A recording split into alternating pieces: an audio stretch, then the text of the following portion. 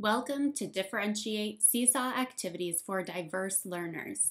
Seesaw tools help you make rigorous content accessible for all learners in any setting. In this training, you will learn how to add multimodal scaffolds to activity templates, integrate voice and choice into learning, and stay organized with Seesaw tools.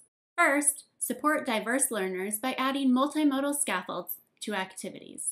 Scaffolds are temporary supports teachers put in place to reduce barriers to learning. Create a copy of an existing activity and modify it for diverse learners.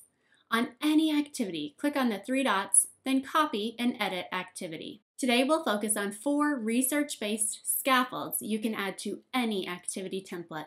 First, include multimodal instructions to eliminate a common barrier to entry for many students, knowing what they need to do. Seesaw activities support typed instructions, Seesaw icon shortcuts, and emojis. You can also record audio directions and attach an example, like an engaging photo or exemplar. Multimodal directions allow students to access instructions in multiple ways, so they know exactly what they need to do to be successful. Learn more about Seesaw icon shortcuts by following the link in the video description. Another powerful scaffold is adding a video of yourself that students can access as many times as they need. Record or upload a video that models a skill, builds background knowledge, or provides any other guidance that helps students be successful. Keep in mind, there can only be one video per page. If you include a video on a page, students cannot add a video of their own when they respond. You can also use Draw and Record to create a screen recording that demos the activity. Click the microphone to record your Seesaw canvas and your voice. By default, your recording will save as a whole page video. To resize it, click the three dots. Then unlock the recording and use the Move tool to drag the corners of the recording to fit your template. Our third scaffold is to add audio to labels, shapes, and photos. You might read text aloud or explain a photo. Click the three dots on an object, then click Voice. Students click the speaker icon to play the recording.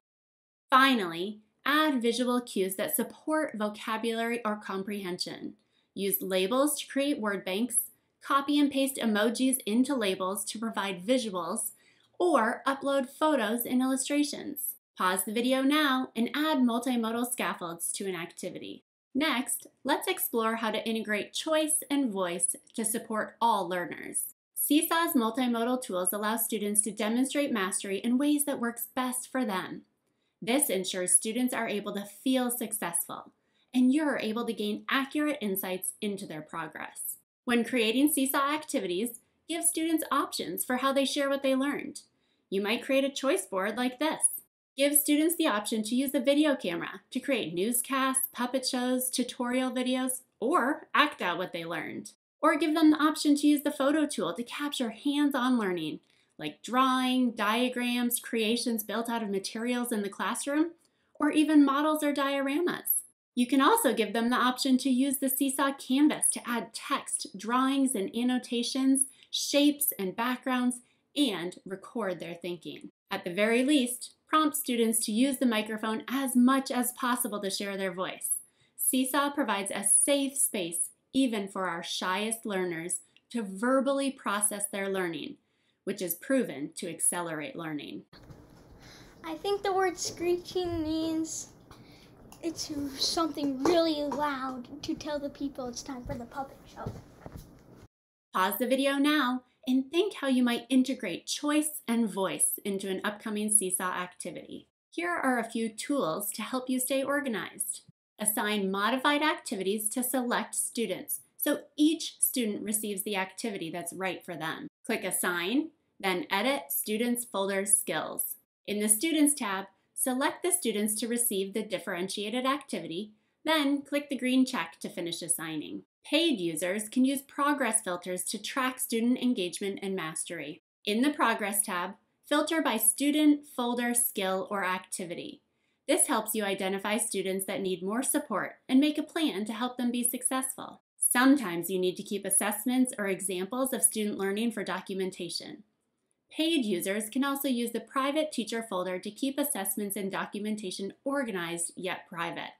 Only you, the teacher, can see what's in the folder. Tag a post to the private teacher folder by clicking the folder icon below the post and selecting Private Teacher Folder. This post is now only viewable to the teacher. The student nor their family can see this post when it's in the private teacher folder. Pause the video now and practice using Seesaw tools to stay organized. You did it! You now know how to differentiate activities for diverse learners. Thanks for learning with us today. You can find more free training at web.seesaw.me forward slash training. See you again soon here at Seesaw.